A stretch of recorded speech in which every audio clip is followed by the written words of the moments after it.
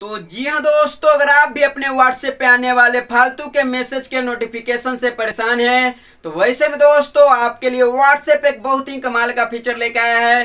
अब आप इस फीचर के माध्यम से दोस्तों, उस ग्रुप को हमेशा के लिए म्यूट कर सकते हैं। और म्यूट करने से होगा क्या दोस्तों कि उस ग्रुप में मैसेज तो आएगा, पर उसका नोटिफिकेशन आप तक नहीं आएगा, जिससे कि आप परेशान होने से बच जाइएगा।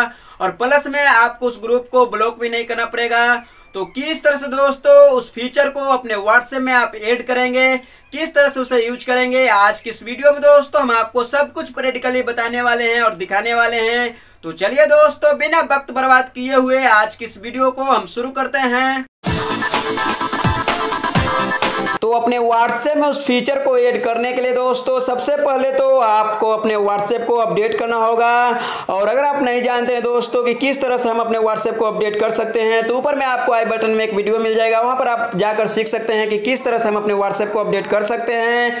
और अपडेट करने के बाद दोस्तों, आपको अपने व्हाट्सएप को ओपन कर लेना है। ओपन करने के बाद दोस्तों, आप यहाँ पर जिसे म्यूट करना चाहते हैं, उसके ऊपर आपको कुछ सेकेंड क्लिक करके रखना है। और यहाँ पर दोस्तों, आपको ऊपर में एक आइकॉन दिखाई देगा। इसके ऊपर आपको क्लिक करना है। क्लिक करने के बाद दोस्तों, यहाँ पर आप देख सकते हैं, और से वन वीक है और यहाँ पर ऑलवेज है, जो कि यहाँ पर ऑलवेज की जगह पर पहले वन ईयर का था। और ये जो ऑलवेज दोस्तों, बिल्कुल ये नया फीचर है। इस फीचर के माध्यम से अब आप किसी भी ग्रुप को और किसी को भी आप म्यूट कर सकते हैं। और ऑलवेज के ऊपर क्लिक करने के बाद दोस्तों, यहाँ पर आपको ओके के ऊपर क्लिक कर देना है। जैसे ही आप ओके के ऊपर क्लिक करिएगा दोस्तों, अब इस ग्रुप में मैसेज वीडियो एडियो तो आएगा, मगर इसका नोटिफिकेशन आपके पास नहीं आएगा।